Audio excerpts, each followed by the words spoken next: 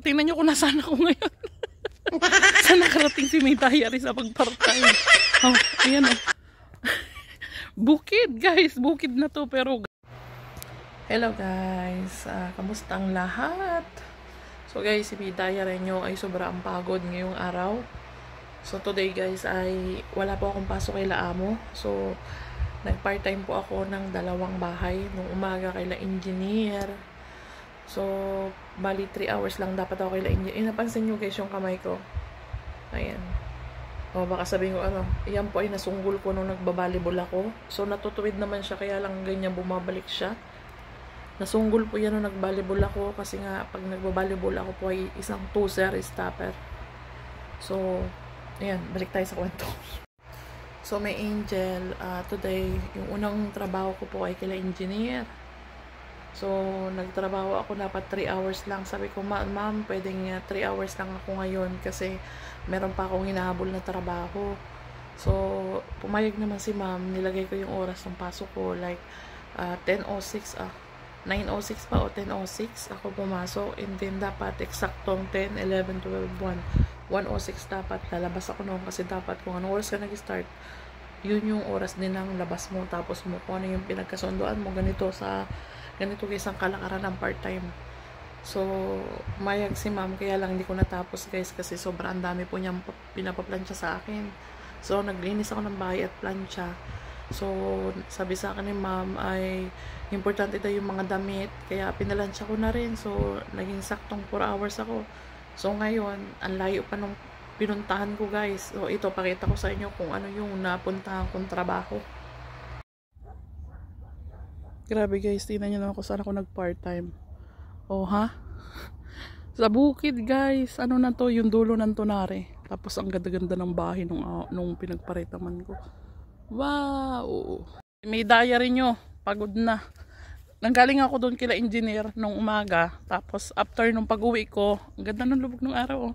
Pag-uwi ko guys, uh, dumiretso ako sa bagong client ko na binigay nung kaibigan ko.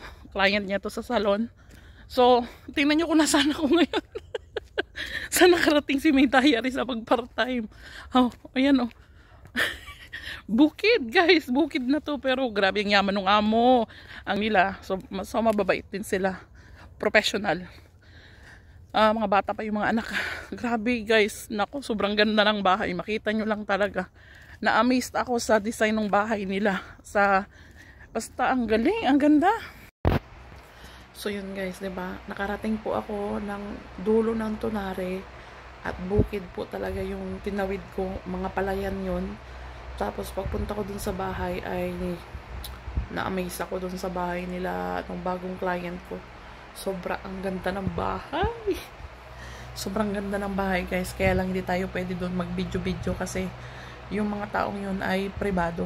As in, kung yung amo ko ngayon na pinapaglutuan ay ano sila um, mayaman talaga na super super super super. Kasi nga uh, may-ari sila dito ng mga company.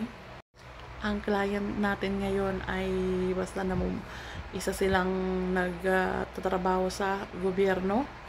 So hindi natin pwedeng banggitin kung ano ano ano ang mga ano ano nila. Kasi privado sila yun, so hindi ko sila pwedeng banggitin guys, pero sobrang ganda po ng bahay nila as in. Kung pwede ko lang ipakita, pwede lang ako mag-video kaya lang sa la lahat ng sulok doon ng bahay nila ay napansin ko sobrang daming mata. Kahit doon sa labas sa bakod, sobrang laking bahay. Alam nyo ba yung limang oras ko na sa ibang bahay from first, second, third floor and attic eh, natatapos ko. Yung bahay nila na limang oras ko lang ay sa baba. As in guys, sa baba lang po talaga ako naglinis. Kasi so, yung lahat ng dingding nila ay uh, salamin. Doon ako natagalan guys sa pagkuskus ng salamin kasi nilinis ko yung salamin sa loob. Nilinis ko rin siya sa labas. And then sobrang lawak ng sala. Sobrang laki ng kusina. Tapos ang basta guys, sobrang ganda ng bahay nila. Sobrang alam mo yun, first time kong pumasok sa bahay ng ibang bahay na, alam mo yun, dahil isa akong nagtatrabaho lang, naglilinis ako ng bahay ng may bahay. Pero yun yung bahay na nakita ko na parang, parang gusto kong tumira dito. Kasi mararamdaman mo na nasa probinsya ka pero nasa city ka. Yung pagpasok ko nung una, ah, wow, anong laki. Pagpasok ko sa loob, ay grabe ma'am, sabi ko ma'am, hindi ko na-expect na ganito kalaki yung bahay mo. Tapos pagtingin ko sa labas, may swimming pool. Pagpunta ko sa harap, alam mo yung, alam mo yung gubat, tapos ang tataas ng puno. Imagine niyo na lang guys, ang tataas ng puno, ang laki nung bakuran. Yung bakuran nila, may bakod talaga yan. Tapos yung nasa sakupan nila, ang laki ng lupa. Tapos uh, may malaking swimming pool sa harap. Tapos pag nakaupo ka dun sa mga upuan, makikita mo yung gubat, yung malalaking puno. Imagine niyo, sobrang sobra ang ganda ng may angel. Alam mo yun, iya, parang yun yung pinapangarap ng bahay. Pwede naman tayong mangarap, ba? So may angel, hindi ako nakapag-vlog talaga kanina ng yung pagpasok, yung kasi 'di ba normally nagba-vlog ako papasok, pagpabukas ng pinto, pagpakit na ng building, pagtapos ng work. So medyo stress ako ngayon ng kaunti kasi nagka-problema ako dito sa bahay. So saka ko na siguro banggitin yan sa inyo. Hindi po problema sa asawa wala pa akong problema sa asawa ko so nagka-problema ako dito ng dito sa bahay so medyo yung pakiramdam ko ay uh, wag na hindi ko muna lang sabihin sa inyo yung alam mo yung uh, sasabihin ko lang sa inyo may angel makikita nyo naman sa mata ko kung ako ay masaya or ma malungkot or galit so Basta ang sasabihin ko lang sa inyo, uh, bibigyan ko kayo ng advice din. May angel. Alam ko marami makapanood nito. Uh, huwag tayo masyadong maging mabait din paminsan-minsan. Uh, huwag tayo laging maging mabait kasi hindi lahat ng tao ay, ay hindi lahat ng tao susuklian din yung kabutihang ginawa mo, yung pagtulong mo.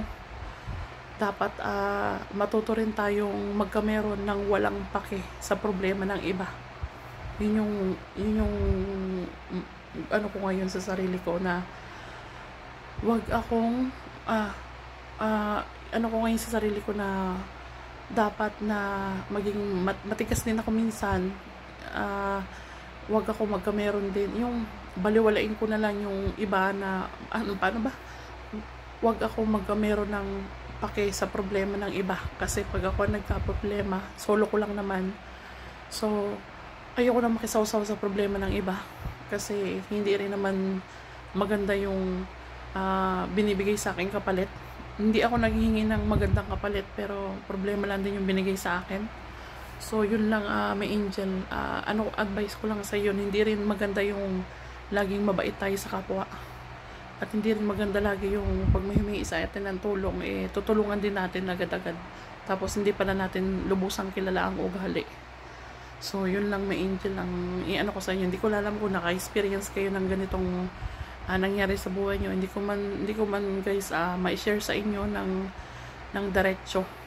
Pero, kasi personal siya. And ayaw ko rin ilabas. Pero, yun lang yung sasabihin ko sa inyo guys. Hindi rin po pala maganda sa buhay natin yung lagi tayong mabait at lagi tayong mapagbigay. Lagi tayong umuunawa sa sitwasyon kahit yung tao ay nagsisinungaling na sa atin, okay lang sa atin. Yung harap-harapan nang nagsisinungaling sa atin. Pero binabaliwala natin. So, yun guys, moral lesson na lang sa akin yun sa mga nangyari ngayon sa akin. so, my angel, ito na hanggang dito na lang ang aking video at kailangan ko rin magpahinga, ipahinga ang ating katawang lupa. so, kasi tomorrow ay papasok ulit tayo kay Laamo at uh, dadaan ako kay Ate Helen para kunin yung uh, Filipino product na in-order ko. So, magluluto tayo bukas ng lumpia, bihon, ano pa ba yung mga sinasabi nyo sa akin. Um, um, ano pa ba, comment down below guys, nalimutan ko kasi medyo delay yung utak natin ngayon kasi nga may pinagdaanan ako. So, tomorrow okay naman na ako. May awan Diyos guys.